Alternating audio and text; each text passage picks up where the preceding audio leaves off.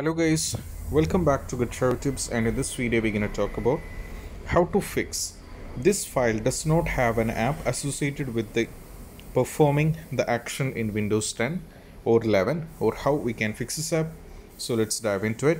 So the first one what you have to do is you just have to go over here in the search.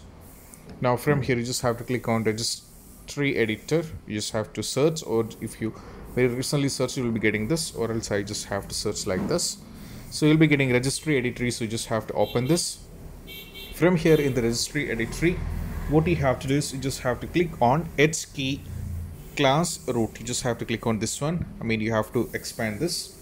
Now from here you just have to scroll down keep scrolling down and over here you have to find live script. You just have to uh, keep scrolling and you have to find live script which will be over here. So keep scrolling. So I'll go like this. Okay we have to find live script.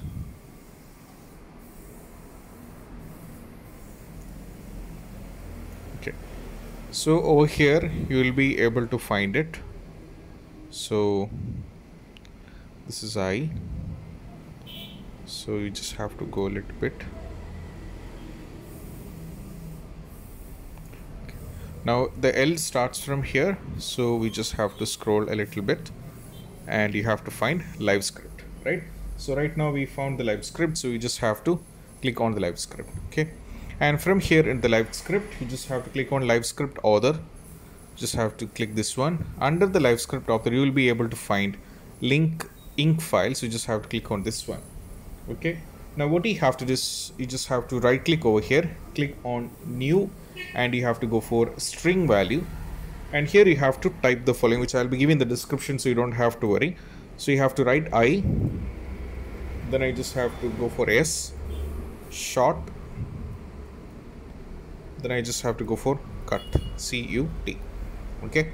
Now it is done so I just have to give the respective value and once it is done I have given the value to the respective one. I just have to close this and I have to restart. Once after restarting I just have to check whether my problem is able to fix or not. But even if it's still not working what I have to do is I just have to right click over here. Okay I just have to click over here on the right click and I have to navigate to properties. Now from here in the properties we'll be getting an option called customize. So I just have to uh, click on customize option so I just have to click on customize option.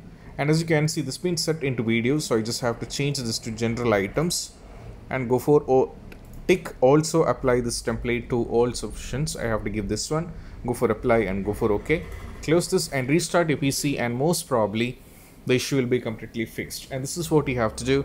And I hope this video is helpful. And if you find this video helpful don't forget to subscribe and click on the bell icon for more notification. See you soon in the next video. Peace out. Bye bye